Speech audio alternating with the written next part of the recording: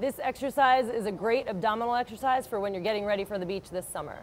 Although it is advanced, so please don't try this if you have not if you're not an experienced exerciser. First, you're going to start sitting on the Swiss ball.